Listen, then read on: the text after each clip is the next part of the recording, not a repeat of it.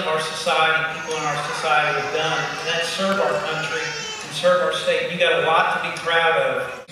The 878 Engineer Company was the first company North Carolina National Guard to go in theater as objective T complete.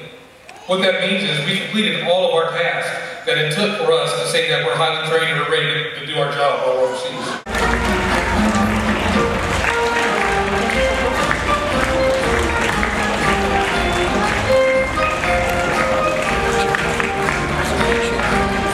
Came home for two weeks, saw her, broke my heart. I had to leave and couldn't see her until I got back. Uh, it's different. I love I love watching holding her and having her around. Uh, you just don't want to let go at all.